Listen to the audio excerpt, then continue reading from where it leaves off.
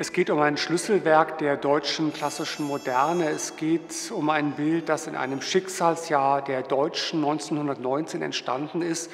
Und bei Kunstwerken von dieser Bedeutung ist es schon wichtig, dass sie auf Dauer für die Allgemeinheit gesichert werden.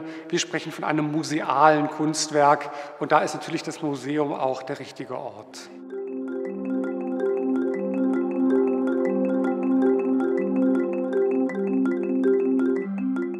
Ist sicherlich eines der Haupt- und eines der Schlüsselwerke Beckmanns. Ein Werk wie das Selbstbildnis mit Sektglas ist schon konstitutiv. Es ist deswegen ein Leuchtturm, weil es eben auch ein Selbstporträt ist. Das ist ein Werk, das viele Menschen haben wollen, nicht nur Museen, auch Privatsammler.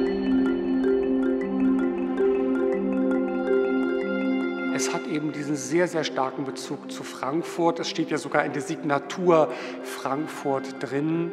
Es ist ein Werk, das nicht nur mit der Stadt viel zu tun hat, auch mit der Sammlung des Städelmuseums viel zu tun hat, für die Beckmann ja eine wichtige Rolle spielt.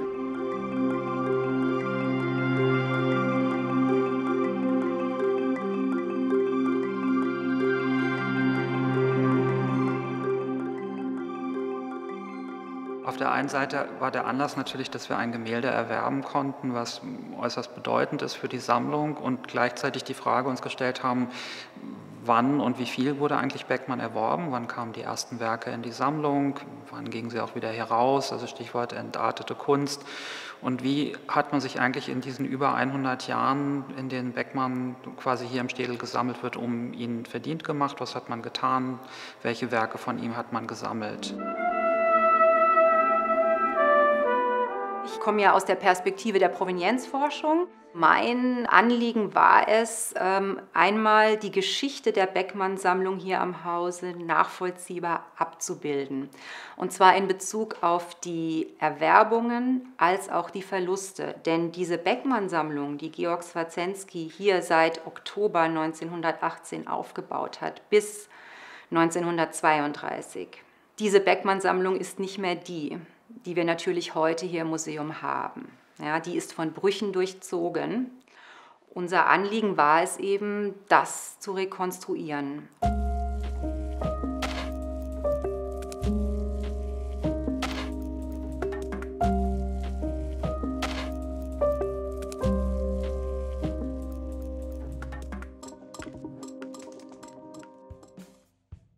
Es ist eine Auseinandersetzung natürlich mit dem Motiv des großstädtischen Lebens. Er selbst der gibt sich ja dem weltmännischen Anzug, also er ist dann mit ähm, seinem Smoking, mit dem er dort sitzt, mit denen er auch ausgegangen ist. Er ist sehr gerne in Frankfurt ausgegangen. Gerne alleine auch, er ist nicht gerne in Gesellschaft ausgegangen, sondern hat ähm, sich quasi alleine dorthin gesetzt und hat beobachtet.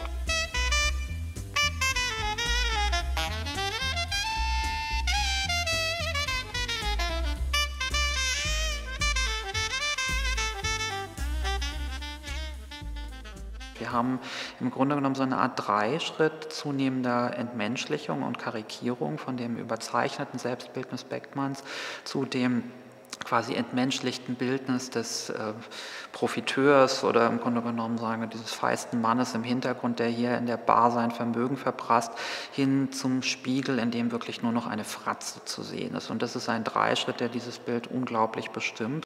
Das Großartige in Beckmanns Malerei ist, dass äh, die Dinge sprechen. Diese Champagnerflasche mit dem roséfarbenen Etikett, die da wie ein Kanonenrohr ihn eigentlich ins Visier nimmt. Also da gibt es ja durchaus auch eine etwas tiefer liegende Bedeutung. Auch die ähm, Zigarre, die er natürlich dort in der Hand hält. Das sind alles so weltmännische Attribute, die er aber gleichzeitig irgendwie wieder auch in Frage stellt. Und das Ganze ist harmonisch zusammengebunden in einem Dreiklang aus Rot und Gelb und Violetttönen, auch Rosétönen, das sich alles quasi fast wiederfindet, wenn man einmal in die Augen von Beckmann, vom Selbstbildnis hineinzoomt, dann sieht man dort, dass ganz viele Töne, die im Bild vorkommen, in den Augen sich eigentlich widerspiegeln.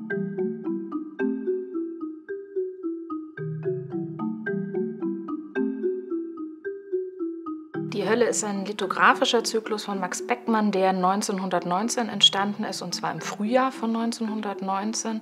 Und aus elf Blättern besteht ein Titelblatt und zehn Einzelkompositionen in einem relativ großen, plakatmäßigen, wenn man so will, Format.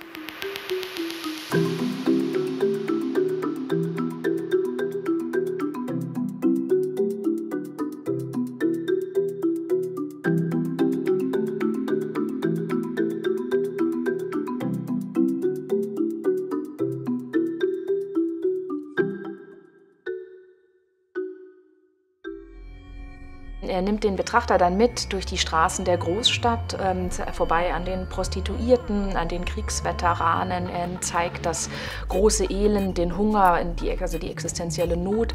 Gleichzeitig zeigt er die Vergnügungssucht der Zeit. Er nimmt sie mit in ein Tanzlokal, wo wild gefeiert wird. Er zeigt die politische Verblendung und die politische Gefahr auch der Gewalt. Also es wird die, die Ermordung Rosa Luxemburgs wird thematisiert, Kurt Eisners Ermordung wird thematisiert. period.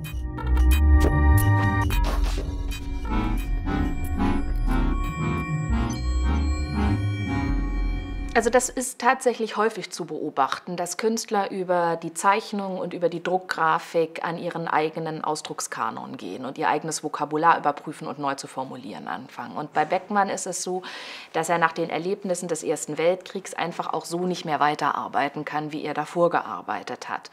Und in den Jahren äh, in Frankfurt entsteht ein dichtes, intensives, insbesondere druckgrafisches Övre. Es entstehen über 200 Radierungen, Lithografien, und Holzschnitte. Das ist mehr als die Hälfte seines gesamten druckgrafischen Övres.